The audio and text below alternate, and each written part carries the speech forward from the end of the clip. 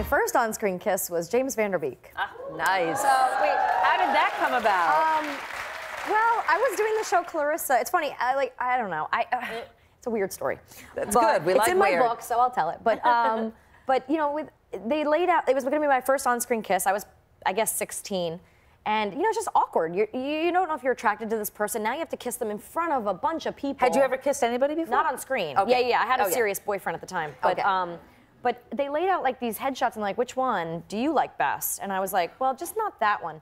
And that's the one they picked. You didn't want to kiss him? I don't think he's that cute. I think he's sweet. I think he's so sweet and so like lovely. I just he's just not my type. He wasn't your type. I don't know. I don't get anyone else. Does anyone else feel no? Am I crazy? No, I think he's Am pretty good. I don't know. Uh, Well, well, who, what, what was what was your type? Just out of curiosity. Um, I don't know. More, I, I really liked Pauly Shore at the time and Johnny Depp. And, know, I don't know, like the darker the- skater, like the skater dudes, not like the skinny, scrawny, pale guy. But which one would you have picked of that group? Would we know the name now? No, actually, I, I have no idea who the other guys were. But I'll Oh. tell you, like, what really offended me was sitting there, really awkward, like shaking, like I have to kiss this guy now. Everybody's. I've worked with these people for three years, and they're gonna watch me make out with a guy that I, they know I don't like, and I have to mm. sell this somehow. And he turns to me and goes, "You know, my girlfriend's not gonna like this." And I was like. Well, neither's my boyfriend, by the way. You know, I was like, How so was he, offended. though?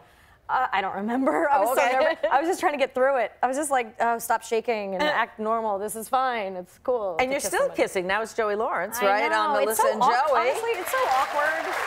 I know it seems great. you right? are a It's- tramp. It's such a. I know. I have to kiss people. My kids are so confused. My kids tell people that they're like, "Mommy is married to my daddy, but she also has a boyfriend." And I'm like, uh, "Not exactly. Hold on, hang on." So you know, it's, it's very confusing for them, but um, it's confusing for me. I, I don't know. I, it's it seems like a great job to be able to go out and kiss all these cute men, but honestly, like. You just have to do it in front of people, and it's like, oh, there's not enough light between you. Do it again. That was too slobbery. Oh, your lipstick got on him. His lipstick got on you. You know, it's like, Does Joey wear lipstick? no, but there's a lot of chapstick. Joey lot wears a lot of chapstick? Yeah, I often have to have some chapstick taken off me. Really? He coats his lips? Yeah, he's a he's a germaphobe. He wants to get a nice layer there between you and Oh. know? Make sure there's nothing transferring there.